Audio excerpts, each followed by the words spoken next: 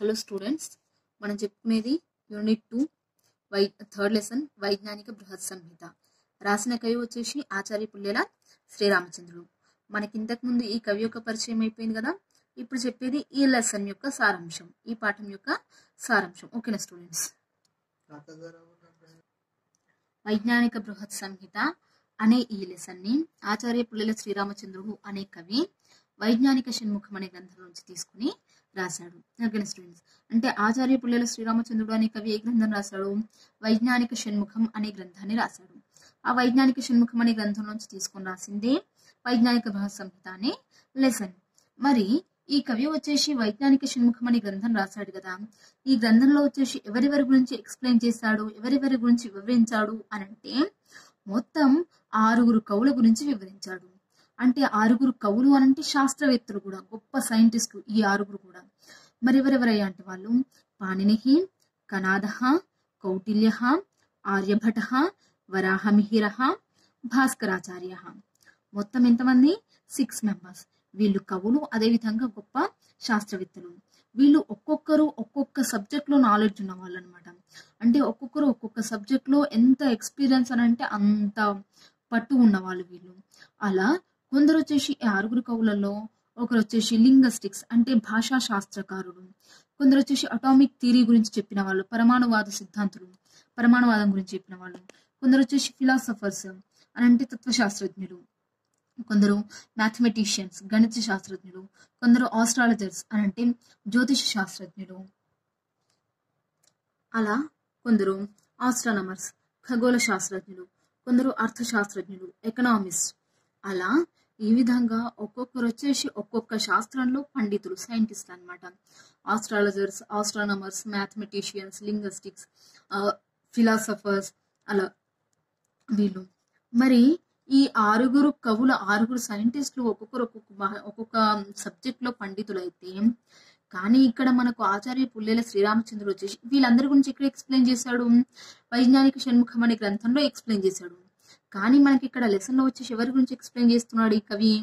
ఒక్క వరాహ మిహిరుని గురించి మాత్రమే చెప్తున్నాడు మనకి. వరాహ మిహిరుని గురించి ఏం చెప్తున్నాడు అని అంటే ఈయన చాలా గొప్ప శాస్త్రవేత్త చాలా గ్రంథాలు రచించాడు చాలా గొప్ప కవి అని చెప్పి చెప్తున్నాడు. అలా వరాహమిహిరుడు సంస్కృతంలోని గొప్ప చాలా చాలా అత్యంత ప్రసిద్ధమైన వాడు వరాహమిహిరుడు అదేవిధంగా ఈ పండితుడు వచ్చేసి మూడు గ్రంథాలు రచించాడు త్రీ బుక్స్ రాశారు. అవేంటేంటి అంటే పంచసిద్ధాంతిక బృహ సంహిత బృహత్ జాతకం ఇలా మూడు గ్రంథాలైనా రాశాడు. అదేవిధంగా మరి పంచ సిద్ధాంతికాలు అంటే ఇందులో ఏం చెప్పాడు అని అంటే పంచ సిద్ధాంతికాలు అంటే మొత్తం ఐదు సిద్ధాంతాల గురించి చెప్పాడు. ఫైవ్ ఫార్ములాస్ ఏంటేంటి? అవి గణిత శాస్త్రానికి సంబంధించి చెప్పాడు. పైతామహ వాసిష్ట రోమక పౌలిష సౌర ఈ సిద్ధాంతాలు. ఇవి ఐదు సిద్ధాంతాల గురించి ఇక్కడ చెప్పాడు. తర్వాత సెకండ్ బుక్ బృహజ్జాతకం. జాతకం జాతకం అంటే ఇందులో హోరా శాస్త్రం గురించి చెప్పి చెప్పాడు. హోరశాస్త్రం శాస్త్రం జ్యోతిష్ శాస్త్రానికి సంబంధించిన విషయాల్ని బృహత్ జాతకంలో చెప్పాడు. అదేవిధంగా బృహత్ సంహిత అన్నింటికంటే పెద్ద గ్రంథం బృహత్ సంహిత. ఇందులో వచ్చేసి ఒక్క జ్యోతిష్ శాస్త్రం గురించి కాకుండా ఖగోళ శాస్త్రం గురించి భూగోళ శాస్త్రం గురించి. బృహత్ సంహితలో జ్యోతిష ఖగోళ భూగోళ ఈ మూడు శాస్త్రాలకి సంబంధించిన విషయాల్ని ఇక్కడ ఈ బృహత్ సంహితలో చాలా చక్కగా వివరించాడు. ఎవరు? వరాహమిహిరుడు అలా వరాహమిహిరుడు వచ్చేసి పుట్టింది పెరిగిందంతా ఎక్కడ అని అంటే ఉజ్జయినిలో అని చెప్పి చెప్తారనమాట ఉజ్జయినిలో. మరి ఈయన తండ్రి వచ్చేసి ఆదిత్యదాసుడు. ఈయన తండ్రి. అదేవిధంగా ఈయన వచ్చేసి చాలా చాలా విద్యల్ని చాలా చక్కగా నేర్చుకున్నాడు. ఎవరి దగ్గర నేర్చుకున్నాడు అని అంటే వాళ్ళ తండ్రి అయిన ఆదిత్యదాసు దగ్గరనే నేర్చుకున్నాడు ఈయన. అదేవిధంగా మరి ఈయన వచ్చేసి ఏ కాలానికి సంబంధించిన వాడు అని అంటే క్రీస్తు శకం ఐదు వందల ఎనభై ఏడవ సంవత్సరానికి సంవత్సరంలో ఉండేవాడు అని చెప్పేసి చెప్తున్నారు. ఎవరు? పరిశీలకులు. అలా. ఏంటి? వీళ్ళ తండ్రి గారి దగ్గరనే విద్యలన్నింటినీ నేర్చుకున్నాడు. ఈయన క్రీస్తు శకం ఐదు వందల ఎనభై ఏడవ సంవత్సరంలో ఉన్నవాడు అని చెప్పేసి చెప్తున్నారు. ఇది ఇక్కడ వరకు. ఇక్కడ వరకు ఒకటైతే ఈ తర్వాత నుంచి అనంటే ఇక్కడ కవి వివరించేది ఎవరి గురించి అంటే ఎక్కువ వరాహమిహిరుడు నుంచి చెప్తున్నాడు. వరాహమిహిరుడు వచ్చేసి ఈ బృహత్ సంహితలో ఏం చెప్పాడు అనేది ఇక్కడ చెప్తున్నాడు మనకి. ఓకేనా స్టూడెంట్స్. అంటే లెసన్ మనం లాంగ్ ఆన్సర్ రాస్తున్నాము అంటే ఈ ఇది వచ్చేసి ఈ థర్డ్ లెసన్ వచ్చేసి లాంగ్ ఆన్సర్ వస్తుంది. Third lesson and fourth lesson. Long answer రాస్తున్నాము అంటే ఫస్ట్ నుండి మొదలు పెట్టాలి ఓకేనా స్టూడెంట్స్ ఫస్ట్ ఏదైతే స్టార్ట్ చేసాడో వైజ్ఞానిక షణ్ముఖంలో ఆరుగురు కవుల గురించి వివరించాడు అక్కడ నుండి లాంగ్ ఆన్సర్ మొదలుపెట్టాలి. ఇకపోతే లెసన్ వచ్చేసి ఈ వరాహమిహిరుడు బృహత్ సంహితలో మరి ఏం చెప్పాడు అని అంటే ఇక్కడ స్టార్ట్ అవుతుంది. ఈయన ముఖ్యంగా దేని గురించి చెప్పాడు? జ్యోతిష్ శాస్త్రాన్ని గురించి భూగోళ ఖగోళ వీటన్నిటి గురించి చెప్పాడు అనమాట జ్యోతిష్ శాస్త్రం అనేది ఏదైతే ఉంటుందో అది మహా గొప్ప గ్రంథం గొప్ప శాస్త్రం అది. అలాంటి జ్యోతిష్ శాస్త్రానికి సంబంధించి చాలా చాలా శాఖలు ఉన్నాయి. జ్యోతిష్ శాస్త్రం అని అంటే ఒకటే అని లేదు. అలా జ్యోతిష్ శాస్త్రానికి సంబంధించి చాలా శాఖలు ఉంటే ఆ శాఖలన్నింటినీ ఒకే దగ్గర కలిపి అంటే జ్యోతిష్ శాస్త్రం గురించి ఒక దగ్గర కూర్చొని ఎక్కడైతే డిస్కషన్ అనేది చేస్తారో ఎక్కడైతే మాట్లాడతారో ఏది జ్యోతిషాస్త్రం యొక్క శాఖలకు సంబంధించి ఎక్కడైతే చర్చిస్తారో దాన్ని ఏమంటారు అని అంటే పురా సంహిత అని చెప్పేసి అంటారు అనమాట ఏమంటారు? పురా సంహిత ఏది జ్యోతిష్ శాస్త్రాన్ని గురించి శాఖల గురించి చర్చిస్తే పురా సంహిత అని చెప్పేసి అంటారంట. అది ఎవరు చెప్పారు? వరాహమీరుడు చెప్తున్నాడు. ఇంకా ఏం చెప్తున్నాడు? ఈ వైజ్ఞానిక బృహత్ సంహిత అనే గ్రంథంలో వచ్చేసి ఈ వరాహమిహిరుడు ఎన్ని ఎన్ని అధ్యాయాలు రాశారంట? మొత్తం chapters one naught five chapters రాశారంట. మొత్తం ఎన్ని అధ్యాయాలు ఉన్నాయి? నూట ఐదు అధ్యాయాలు ఉన్నాయి. అదేవిధంగా ఇందులో శ్లోకాలు ఎన్ని ఉన్నాయి? నాలుగు వేల శ్లోకాలు ఉన్నాయంట ఇందులో. నాలుగు వేల శ్లోకాలు ఉన్నాయి. ఇదంతా బృహత్ సంహితలో ఉండే చాప్టర్స్ అండ్ పోయింది శివన్ని వచ్చేసి. మరి ఇంతకీ బృహత్ సంహితలో ఏం చెప్పాడయ్యానంటే మనకి నవగ్రహాలలో రెండు గ్రహాలు వచ్చేసి ఏంటి? సూర్యుడు ఒక గ్రహమే చంద్రుడు ఒక గ్రహమే. అలా సూర్య చంద్రాదుల యొక్క గ్రహాల గురించి సంచారం అనేది ఎలా ఉంటుంది? అంటే అవి ఎలా తిరుగుతున్నాయి? వాటి యొక్క సమయ పద్ధతి అనేది ఏంటి వాటి యొక్క టైమింగ్స్ అనేవి ఏంటి అని చెప్పేసి అలా సూర్యచంద్రాదుల గురించి చెప్పాడు. అదేవిధంగా నక్షత్రాల గురించి అదేవిధంగా రాశుల గురించి ఈ గ్రహాలు రాశులు నక్షత్రాలు అనేవి ఏవైతే ఉన్నాయో జ్యోతిష శాస్త్రానికి సంబంధించి ఒక మనిషి పైన చాలా ప్రభావం చూపిస్తాయి అని చెప్పి చెప్తున్నారు. అని అంటే మనం పుట్టినప్పుడు ఏదైతే ఉంటుందో లగ్న కుండలి అని చెప్పేసి తీస్తారు. మనం సమయం పుట్టిన టైం డేట్ ఆఫ్ బర్త్ కనుక ఇస్తే. అలా మరి ఒక మనిషి యొక్క విద్యా స్థితి కానీ ఏదైనా పెళ్ళి స్థానం కానీ ఉద్యోగ స్థితి కానీ ఈ రకంగా ఉంటుంది. ఒక మనిషి పైన ఈ గ్రహాలు అనేవి ఈ రకంగా నక్షత్రాలు రాసులు అనేవి ఈ రకంగా ప్రభావం అనేవి చూపిస్తాయి అని చెప్పి ఎందులో చెప్తున్నాడు అని అంటే ఇలా వ- వరాహమిహిరుడు వైజ్ఞానిక బృహ సంహితలో చెప్పి చెప్తున్నాడు. దేని గురించి అయ్యా ఇదంతా అంటే జ్యోతిష శాస్త్రానికి సంబంధించి. అదేవిధంగా శుభ అశుభ ఫలితాలు అని అంటే మంచి ఫలితాలు అనేవి ఏ టైంలో ఏ గ్రహాలు ఉంటే వస్తాయి? అశుభ ఫలితాలు అని అంటే చెడు ఫలితాలు అనేవి ఏ గ్రహాలు ఉంటే మన లగ్నకుండల్లో ఉంటే వస్తాయి అని చెప్పేసి శుభాశుభ ఫలితాల గురించి చాలా చక్కగా చెప్పి చెప్పాడు. అదేవిధంగా ఆకాశంలో వర్షం పడే ముందర మొత్తం మేఘాలన్నీ కూడా ఒక దగ్గర ఆవరించుకుంటాయి. నల్లగా పడిపోతాయి మేఘాలు అనేవి ఆవరించుకొని వర్షం అనేది వస్తుంది. ఆ రకంగా మేఘాలు అనేవి ఎలా ఆవరించుకుంటాయి? వర్షం అనేది వస్తుంది. వర్షం అనేది ఏ రకంగా వస్తుంది? ఎందుకు వస్తుంది? అదేవిధంగా వర్షం యొక్క పద్ధతి ఏంటి? అదేవిధంగా ఒక్కోసారి ఎండ అనేది ఉంటూనే సడన్గా వర్షం అనేది పడుతుంది. అలా సడన్గా వర్షం అనేది ఎందుకు వస్తుంది? భూకంపాలు వస్తాయి. భూకంపం అనేది ఎందుకు వస్తుంది? సునామీ వస్తుంది. సునామీ అనేవి ఎందుకు వస్తాయి? ఉల్కలు పడతాయి. తోకచుక్క అని అంటారు. తోక చుక్కలు అనేవి ఎందుకు పడతాయి? వర్షం పడుతున్నప్పుడు ఇంద్రధనస్సు అనేది ఏర్పడుతుంది ఏడు రంగులతోటి. ఇంద్రధనస్సు అనేది ఎలా ఏర్పడుతుంది? ఇంతకు ముందు కాలంలో ఇది ఇంతవరకు జ్యోతిష్యం గురించి అయితే ఇంతకు ముందు కాలంలో ఇండ్లని ఏ రకంగా నిర్మించేవాళ్ళు? అదేవిధంగా విలేజెస్ ఉంటాయి ఒక గ్రామాన్ని ఏ రకంగా నిర్మించేవాళ్ళు? ఇలా మొత్తం ఒక సిటీ ఉంటుంది. సిటీని ఏ రకంగా నిర్మించేవాళ్ళు? ఆ ఒక గ్రామాన్ని నిర్మించాలి అంటే గ్రామానికి కావాల్సిన వసతులు ఏంటి అవసరాలు ఏంటి వాటిని ఏ రకంగా నిర్మించాలి? వాటన్నిటి గురించి చెప్పాడు. అదేవిధంగా మనకి భూమి లోపల వచ్చేసి నీరు అనేది ఇంతవరకు ఉంటుంది. భూమి లోపల ఖచ్చితంగా మనం కా- నీళ్ళు కావాలంటే ఏంటి? బోర్ వేయాల్సిందే అలా నీరు దొరికేది ఏంటి? భూమిలో నుంచి మనకి నీరు అనేది లభిస్తుంది. అలా భూమి లోపల నీరు అనేది ఎలా లభిస్తుంది మనకి? అని చెప్పేసి నీటి గురించి. అదేవిధంగా ఇప్పుడంటే హాస్పిటల్స్ ఉన్నాయి కానీ ఇంతకుముందు అయితే హాస్పిటల్స్ అనేవి లేవు. అలాంటిది ఇంతకుముందు ఏదైనా జబ్బు చేసింది ఏదైనా పెద్ద రోగం వచ్చింది అని అంటే దానికి ఎలా తగ్గించేవారు?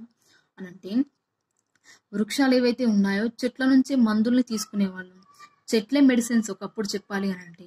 ఇప్పుడు హాస్పిటల్స్ కానీ అలా చెట్లు అనేవి ఆయుర్వేదానికి సంబంధించిన ఆయుర్వేద మెడిసిన్స్ అవి చెట్లు అనేవి. అలా ఏ రకంగా ఆయుర్వేద మెడిసిన్స్ అవి?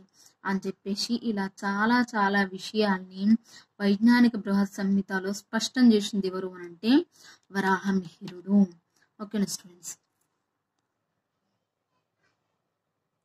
అలా వైజ్ఞానిక బృహత్ సంహితలో చాలా చాలా విషయాల్ని చాలా స్పష్టంగా చెప్పారనమాట ఇలా చాలా విషయాలు చెప్పాడు.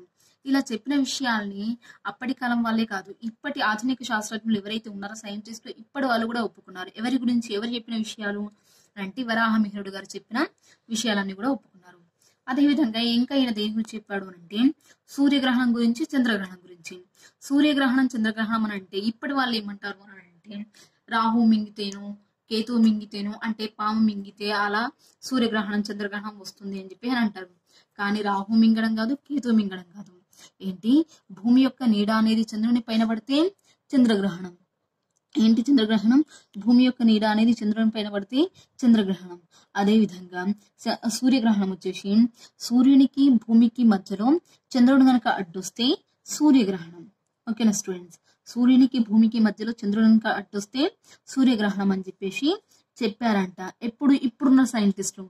కానీ ఇది ఎవరు చెప్పారంట? సూర్యగ్రహణం చంద్రగ్రహణం అంటే ఈ రకంగా ఉంటుంది అన్న సంగతి అంటే ఇంతకు ముందు కాలంలో ఋషులు అనే వాళ్ళు ఉండేవాళ్ళు కొన్ని వేల సంవత్సరాల క్రితం. ఆ ఋషులకు వచ్చేసి ఈ రెండు కన్నులు కాకుండా ఇంకో దివ్య దృష్టి అని ఒకటి ఉంటుంది. ఆ దివ్య దృష్టి ఆధారంగా చేసుకొని సూర్యగ్రహణం చంద్రగ్రహణం అంటే ఇలా ఉంటుంది ఇది అని చెప్పేసి చెప్పిన వాళ్ళు ఎవరు అంటే అప్పటి ఋషులు చెప్పారు అని చెప్పేసి వరాహమిహిరుడు బృహత్ సంహితలో చక్కగా చెప్పాడంట క్లియర్గా. అలా సూర్యగ్రహణం చంద్రగ్రహణం నుంచి ఇక్కడ వరకు చెప్పాడు. అదేవిధంగా అప్పటి కాలంలో వచ్చేసి రాజుల కాలంలో కానీ ఇంతకు ముందు కాలంలో కానీ కొన్ని వందల సంవత్సరాల క్రితం నగరాన్ని ఏ రకంగా నిర్మించాలి ఒక విలేజ్ని ఏ రకంగా నిర్మించాలి అలా అంటే ఒక విలేజ్ నిర్మించాలి అని అంటే ఏ రకంగా? అంటే ఒక ఆఫీస్ అనేది ఎలా ఉం- ఏ దిక్కున ఉండాలి? ఏమంటారు? హాస్పిటల్ అనేది వైద్యశాల అనేది ఏ దిక్కున ఉండాలి? అదేవిధంగా స్కూల్స్ అనేవి ఏ దిక్కున ఉండాలి? ఏ రకంగా ఒక విలేజ్ నిర్మించాలి? విలేజ్ నిర్మించడానికి ఏ ఏ అవసరాలు కావాలి? అసలు విలేజ్ వాళ్ళకి నగరాన్ని ఏ రకంగా నిర్మించాలి? అని చెప్పేసి ఇలా చాలా చాలా విషయాల్ని నిర్మించ అంటే ఒక నగరాన్ని ఒక విలేజ్ నిర్మించే పద్ధతి గురించి చాలా విషయాల్ని వైజ్ఞానిక బృహత్ సంహితలో వరాహమిహిరుడు చెప్పాడనమాట అదేవిధంగా అది కాకుండా స్త్రీల గురించి చెప్పాడు. స్త్రీలు అనేవాళ్ళు ఎంత గొప్ప వాళ్ళు ఎంత ఉన్నతమైన వాళ్ళు ఎంత ఉన్నతమైన వాళ్ళు ఎంత మంచి వాళ్ళు స్త్రీలు అనేవాళ్ళు అని చెప్పేసి స్త్రీలు ఎప్పటికైనా గొప్ప వాళ్ళే అని చెప్పేసి అలా స్త్రీల యొక్క గొప్పతనం గురించి మొత్తం ఇరవై శ్లోకాలలో చెప్పాడంట. ఒక్క స్త్రీల్ని ప్రశంసిస్తూ అంటే లేడీస్ని ప్రశంసించుకుంటూనే ఇరవై శ్లోకాలలో చెప్పి చెప్పాడంట. ఎవరు? వరాహమిహిరుడు. అదేవిధంగా ఇంకేం చెప్పాడు అని అంటే మామూలుగా మనిషికి అన్నం అనేది లేకపోయినా ఏం కాదు. అన్నాదపి గరియ జలం అని అంటే అన్నానికి మించి ఇంకా కాపాడేది ఏంటి మనల్ని అని అంటే జలం నీరు లేకపోతే అసలుకే బ్రతకలేము. శ్వాస లేకపోతే వాయువు లేకపోతే ఎలాగో ఉండలేము. ఒక కొన్ని సెకండ్స్ కూడా ఉండలేము. కానీ అన్నం లేకపోతే ఉండగలుగుతాము. నీళ్ళు తాగకపోతే మాత్రం అసలు ఉండలేము కాబట్టి అన్నానికంటే ఇంకా గొప్పది ఏంటి అని అంటే మనల్ని రక్షిస్తున్నది మన ప్రాణాలు కాపాడుతుంది అని అంటే నీరు. అలాంటి నీటి గురించి అని చెప్పేసి ఒక్క నీటి గురించి నీటి యొక్క గొప్పతనం గురించి ఈ కవి దకార్గలాధ్యాయంలో మొత్తం అంటే దకార్గల అధ్యాయం అంటే వైజ్ఞానిక బృహత్ సంహిత ఎన్ని అధ్యాయాలు? వన్ నాట్ ఫైవ్ కదా చాప్టర్స్. ఆ వన్ నాట్ ఫైవ్ చాప్టర్స్లో దకార్గల అధ్యాయం అనేది ఒక అధ్యాయం అనమాట అలా ఆ అధ్యాయంలో నూట ఇరవై ఐదు శ్లోకాలలోనే ఒక్క నీటి యొక్క గొప్పతనం గురించి వివరించాడు. నీరు అనేది ఎంత గొప్పది? నీరు లేకపోతే మనిషి అనేవాడు ఉండలేడు అని చెప్పేసి. అదే విధంగా ఉదాహరణ ఏం చెప్పాడు అని అంటే నీటి గురించి. మన శరీరంలో రక్తనాడులు అనేవి ఏ విధంగా అయితే ఉంటాయో రక్తం అనేది నరనరాలు ఏ విధంగా అయితే ప్రవహిస్తూ ఉంటుందో అదే విధంగా భూమి లోపల కూడా జలనాడులు అనేవి ఉంటాయంట. జలం అనేది భూమి లోపల ఎప్పుడు కూడా ప్రసరిస్తూనే ఉంటుందంట. జలం అనేది ఎప్పుడు కూడా ఉంటుందంట. కాకపోతే ఇప్పట్లో ఈ జనరేషన్లో నీళ్ళు అనేవి రావట్లేదు. బోరేసినప్పటికీ కూడా కొన్ని ఫీట్లు తవ్వితే కానీ కానీ ఇంతకు ముందు కాలంలో మాత్రం తెలిసిన వాళ్ళు ఏంటి అని అంటే కొన్ని చెట్ల సహాయంతో చెట్లని ఆధారంగా చేసుకుని ఒక ప్లేస్ను చూసుకుని ఆ చెట్ల ఆధారంతో ఈ ప్లేస్లో వాటర్ ఉన్నాయి. అంటే ఈ స్థానంలో కనుక బోరేస్తే వాటర్ వస్తాయి ఈ ప్లేస్లో వాటర్ ఉన్నాయి అని ఖచ్చితంగా చెప్పేసేవాళ్ళంట. ఇన్ని ఇన్ని ఫీట్లు తవ్వితే వాటర్ వస్తాయి అని చెప్పేసి అప్పటి వాళ్ళు చెప్పేసేవాళ్ళంట. మరి ఏ ఆధారంగా చేసుకొని అంటే చెట్లు ఏవైతే ఉన్నాయో చెట్లని ఆధారంగా చేసుకొని భూమి లోపల నీరు అనేది ఇంతవరకు ఉంది ఇంత ఇన్ని ఫీట్లు ఇస్తే నీరు అనేది వస్తుంది అని చెప్పేసి చెప్పేవాళ్ళంట. అలా అంత గొప్ప జ్ఞానం ఉన్న వాళ్ళు ఎవరు అంటే అప్పటి వాళ్ళు అని చెప్పేసి అలా నీటి యొక్క గొప్పతనాన్ని గురించి చెప్పాడు నూట ఇరవై ఐదు శ్లోక నూట ఇరవై ఐదు శ్లోకాలలో వరాహమిహిరుడు అదేవిధంగా ఇంకా వృక్ష ఆయుర్వేద సంబంధం గురించి అని అంటే ఇప్పుడంటే మనకి ఏదైనా జబ్బు చేస్తే హాస్పిటల్స్ అనేవి ఉన్నాయి. కానీ ఇంతకు ముందు కాలంలో మొత్తం ఋషులు ఉండేవాళ్ళు మామూలుగా చాలా కాలం పురాతనమైన మనుషులు ఎవరైతే ఉంటారో వాళ్ళందరూ కూడా ఏదైనా జబ్బు చేసింది ఏదైనా దెబ్బ తగిలింది అని అంటే ప్రతి ఒక్కదానికి ఏం వాడేవాళ్ళు? ఒక్క చెట్లను మాత్రమే. అంటే చె- చెట్ల ఆకులు ఏవైతే ఉన్నాయో ఆకుల్ని తీసుకొచ్చి దాని రసం పిండి ఆ రసంతో ఆ జబ్బును నయం చేసేవాళ్ళు. ఆ దెబ్బలు ఎక్కడైతే తగిలినా ఆ దెబ్బల దగ్గర రాస్తే ఆ దెబ్బలన్నీ కూడా నయం అయ్యేవి అలా ఒకప్పుడు హాస్పిటల్ ఒకప్పుడు పెద్ద మెడిసిన్ ఏంటి అని అంటే ఔషధాలు ఏంటి అని అంటే ఒక్క చెట్లు మాత్రమే. చెట్లు అనేది ఆయుర్వేద శాస్త్రానికి సంబంధించినవి. ఆయుర్వేదం చెట్లు అనేవి. అలా ఆయుర్వేదం అనేది ఎంత గొప్పది? చెట్లు అనేవి ఎంత గొప్ప అనేవి అలా ఇక్కడ కూడా వివరించాడు వరాహమిహిరుడు వైజ్ఞానిక భాష సంహితలు. ఇంకెవరి గురించి వివరించాడు అని అంటే రైతులు ఎవరైతే ఉంటారో పంటని పండించే వాళ్ళు వాళ్ళ గురించి అయితే చాలా చాలా విషయాలు చెప్పాడు రైతు అనేవాడు ఖచ్చితంగా దేశానికి వెన్నెముక్క లాంటి వాడు అని చెప్పి అంటారు కదా. ఆ రకంగా చెప్పాడు. రైతు అనేవాడు చాలా గొప్పవాడు అని చెప్పేసి. మరి ఆయన ఎంత కష్టపడుతున్నాడు? మనకి పంట చేతికి రావాలి ధాన్యం అనేది వస్తుంది అని అంటే ఆయన ఎంత కష్టపడితే అది వస్తుంది. ముందుగా ఏం చెప్పాడు అంటే ఒక పంటని పండించడం అనేది ఈ రకంగా పండిస్తారు వ్యవసాయం అనేది ఈ రకంగా చేస్తారు ఈ పద్ధతిలో చేస్తారు అని చెప్పేసి చెప్పారనమాట ముందు ఏంటి అని అంటే భూమిని చదును చేసుకోవడము అలా భూమిని చదును చేసుకున్న తర్వాత నీళ్ళతో తడపడము అదంతా చేసిన తర్వాత ఆ ప్లేస్కి తగ్గట్టుగా ఆ ప్లేస్లో ఏ విత్తనాలు వేస్తే ఏ పంట అనేది వస్తుంది అదంతా చూసుకుని సీడ్స్ ఏవైతే ఉంటాయో విత్తనాలను శుభ్రం చేసుకుని ఆ విత్తనాలని కూడా ఎక్కడ పడితే అలా ఇష్ట ప్రకారంగా వేయకుండా దాన్ని కూడా ఒక వరుసలో అనంటే ఈ విత్తనం నుంచి ఈ విత్తనం వరకు ఇంత ఇంత గ్యాప్ అనేది ఉండాలి అని చెప్పేసి అలా విత్తనాలని వేయడం కానీ పంటని పండించడం కానీ పంట చేతికొచ్చిన తర్వాత ఎలా కోయడమో ధాన్యం అనేది ఏ రకంగా వస్తుంది ఇవన్నీ కూడా అసలు ఒక వ్యవసాయదారుని యొక్క కర్తవ్యం అనేది ఏంటి? వ్యవసాయదారుడు అనేవాడు భారతదేశానికి ఎంత సహాయం ఎంత మేలు చేస్తున్నాడు? వ్యవసాయదారు లేకపోతే అసలు తినడానికి లేనే లేదు అని చెప్పేసి అలా వ్యవసాయం గురించి వ్యవసాయం యొక్క గొప్పతనం గురించి రైతు గురించి చాలా చక్కగా చెప్పి ఇప్పాడు. ఎవరు? వరాహమిహిరుడు వైజ్ఞానిక బృహత్ సంహితలు అదేవిధంగా ఇంకేనేంటి ఖగోళ శాస్త్రానికి గణిత శాస్త్రానికి హోరా శాస్త్రానికి సంబంధించినవే కాకుండా చాలా చాలా విషయాలు ఇప్పాడు. మనం రోజు గడుపుతున్న జీవితంలో మనకంటూ నిత్యావసరాలు ఏమేమి ఉంటాయి? ఒక మనిషి యొక్క జీవితం అనేది ఏ రకంగా గడుపుతుంది? గడుపుతున్నాడు. ఒక మనిషికి ఎన్నెన్ని అవసరాలు వస్తాయి. అలా చాలా చాలా విషయాల్ని స్త్రీల యొక్క గొప్పతనం గురించి అన్నింటి గురించి చాలా విషయాల గురించి ఎల్లో చెప్పాడు. వరాహమిహిరుడు వైజ్ఞానిక బృహత్ సంహితలో చెప్పి చెప్పాడు. ఇంకా చివరికి ఏమంటున్నాడు అని అంటే ఈ జ్యోతిష శాస్త్రం అనేది ఒక సముద్రం లాంటిది. సముద్రాన్ని చిలికితేనే కదా అమృతం అనేది వచ్చింది. అలా ఈ జ్యోతిష్ శాస్త్రం అనేది ఏంటి అంటే ఒక మహాసముద్రం లాంటిది. ఈ జ్యోతిష్య శాస్త్రాన్ని నా బుద్ధి అనే కవ్వంతో చిలికి వైజ్ఞానిక బృహత్ సంహిత అనే అమృతాన్ని నేను బయటకి తీశాను అని చెప్పి చెప్తున్నాడు. ఎలా పోల్చాడు అక్కడ సముద్రాన్ని పాల సముద్రాన్ని చిలికితే ఎలా అంటే మందర పర్వతాన్ని మధ్యలో కవ్వంలాగా వేసి చిలికితే ఏమొచ్చింది అక్కడ? అమృతం వచ్చింది. అదేవిధంగా ఈయన ఏం చెప్తున్నాడు అని అంటే జ్యోతిష్ శాస్త్రాన్ని పాల సముద్రంతో పోల్చాడు. అలా జ్యోతిష్ శాస్త్రాన్ని నా బుద్ధి అనే కవ్వంతో చిలికితే ఇక్కడ అమృతం వచ్చేసి అక్కడ అమృతం బయటకు వచ్చింది ఇక్కడ ఏం బయటకు వచ్చిందని అంట అలా నా బుద్ధి అనేది కవ్వంతోటి నేను జ్యోతిష్ శాస్త్రాన్ని చిరికితే వచ్చింది ఏంటి అని అంటే ఈ వైజ్ఞానిక బృహత్ సంహిత అలా నేను ఈ వైజ్ఞానిక బృహత్ సంహితని నేను ఇలా రాశాను.